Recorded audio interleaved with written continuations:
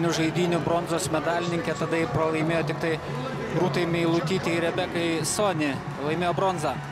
Pirmas takas - olimpinė Tokijo čempionė, amerikietė Lydija Jacobi. Septintame puikiai švedijos plaukikė Sofija Hanson, labai įprastai energingai pradedanti ir tą greitį bandant išlaikyti distancijos pabaigoje. Kylant Estijos plaukimo žvaigždė,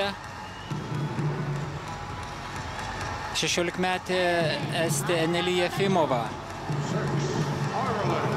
Šį sezoną į elitą labai tvirtai įstojusi ir nacionalinius rekordus gerinanti airė Mona Makšeri. Vienas trenerių jos buvęs Rūtas Meilutytės, treneris Džonas Rūdas. Dar viena olimpinė čempionė Tatjana Schoenmaker, 200 metrų rungties Tokijuje. Plaukdama 100 metrų krūtinę Tokijuje ji buvo antra, pralaimėjo tik tai Lydijai Jacobi. O čia trečioji Tokijo žaidinių prizininkė 100 metrų plaukimo krūtinę Lily King be galo patyrusi, tituluota, daug startų turėjusi.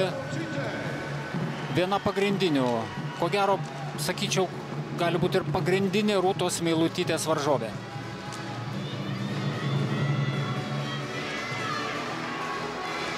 Bet varžovai varžovais, aišku, tokiuose startuose mes e, galbūt e, pagrindiniais varžovais esame patys savo.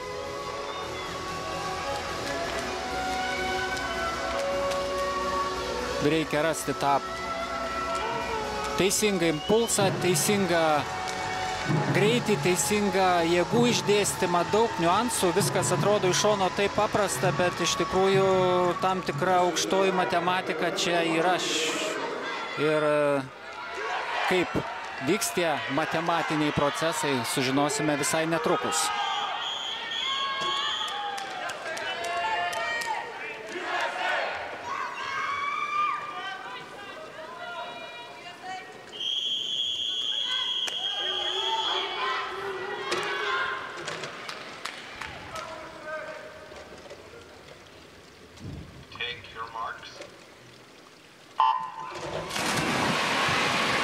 Startą Rūta Meilutytė prieš Lily King laimi užtikrintai viena dešimtąją sekundės dalim ir čempionatas rodo, kad greitis yra puikus. Puikiai yra ir ištvermė, bet Lily King plaukia ir 200 metrų krūtinę, todėl antroje distancijos dalyje ji bus labai pavojinga, taip pat pavojinga kaip ir Tatjana Schoenmaker. Pietų Afrikos Respublikos sportininkė, kuri nuo Rūtos atsilieka jau korpusu po pirmųjų 50 metrų, 29,78 šimtosios, dar vieną šimtąją sekundės dalim greičiau. O dabar teks kentėti, teks sunkiai dirbti paskutinėsias keliolika sekundžių, nes e, varžovės tikrai taip lengvai aukso šioje distancijoje netiduos. Iki finišo 25 metrai, kol kas viskas klostosi nuostabiai. Lily King atsilieka, Schoenmaker atsilieka, Makšerė atsilieka, Jacob irgi atsilieka. Pasaulio rekordo grafikas visai netoli, Rūta finišuoja užtikrintai. Bravo! Nerealu, 15 metrų iki finišo mes jau sveikiname Lietuvą su aukso medaliu, minutė 4 ir 62 šimtosios sekundės dalys. Prie pat pasaulio rekordo. Wow, bravo. Tai yra,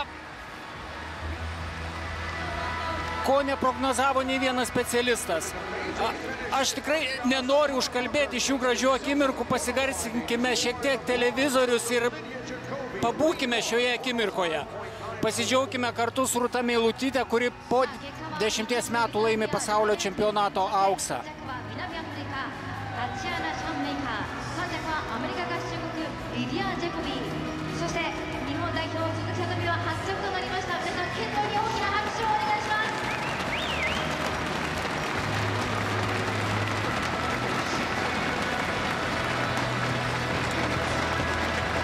Tik tai priminsiu, kad apdovanojimų ceremonija šiek tiek po ketvirtos valandos ir Lietuvos gimnas.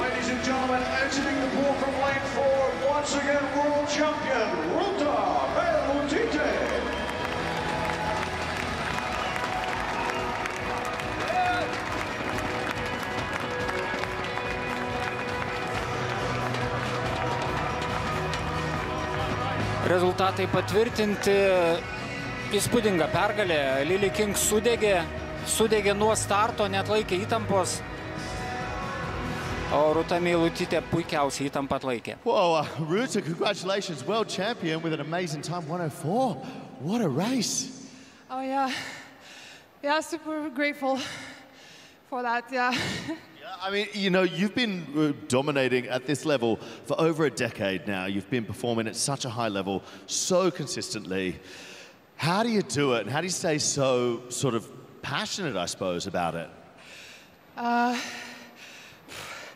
I think it was given to me, so it's not my. I don't take credit for it. uh, thanks to my mom and dad, and to whatever this, uh, uh, I don't know, God or whatever is. So I'm really grateful. Uh, yeah, so I'm just fully enjoying it and uh, counting my blessings. Well, look, congratulations. I love to watch you keep doing this. Racing so well. You're world champion. Ladies and gentlemen, give it up for Ruta Meliutite. Rūta de dėkinga. Čia matome ir Lietuvos plaukimo federacijos vadovą Saulių Binevičių. Na, ką sako Rūta, kad ji yra dėkinga. Šie titulai, na, nėra mano. Dėkoja mamai, tėtai, Dievui, mėgaujasi akimirką ir skaičiuoja palaiminimus. Na, puik, puikiai Rūtos Miltytės istorija jau daugiau nei 10 metų tokiame lygyje ir pasaulio čempionės titulą šioje rungtyje 100 metrų plaukime krūtiniai iškovojo po 10 metų. Neįtikėtina. Tikrai e, neįlinė istorija plaukime ir sakyčiau, kad esame palaiminti ir mes, kad galime šią istoriją matyti tiek daug laiko. Dvi apdovanojimų ceremonijos. Dabar 100 metrų nugarą vyrai, o po to 100 metrų krūtinė moteris, niekur nepabėkite, dar matysime, kaip rūtai meilutytėje bus įteiktas aukso apdovanojimas. Bet prieš tai vyrai Auksas keliaus Junktinės valstijas, sidabras Italijai. Atitenka. Na, tai tikrai labai daug, daug emocijų. Šiandien e, puikus čempionatas. Net jeigu jis pasibaigtų šiandien, jis jau būtų nuostabus Lietuvai. Lietuva jau yra medalių lentelėje ir Lietuva yra viena iš septynių valstybių, kuri iškovoja aukso medalius pasaulio čempionate. O čia Hunteris Armstrongas, neužrašyta ant laiptelių, kur dviejetukas, kur trejetukas, būtent šis laiptelis, trečioji vieta ir bronzos apdovanojimas amerikiečiui atitenka. Pasaulio čempiono titulą šioje distancijoje prarado Tomas Čekonas, bet šypsosi. Pagaliau smagu matyti besišypsantį italą. Na, vakar jisai tapo pasaulio čempionu 50 metrų plaukimo peteliške rungtyje. Visko nelaimėsi. Puikus čempionatas, antroji vieta taip pat yra labai įspūdinga. Pralaimėta tik tai Ryanui Murphy.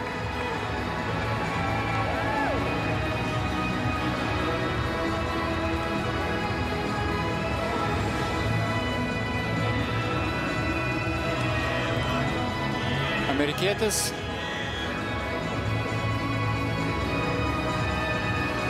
Daug titulų iškovojęs savo karjeroje, jau 14 medalių šiame čempionate turi Junktinių valstybių sportininkai, gerokai papildė jie savo kraitį šiandien.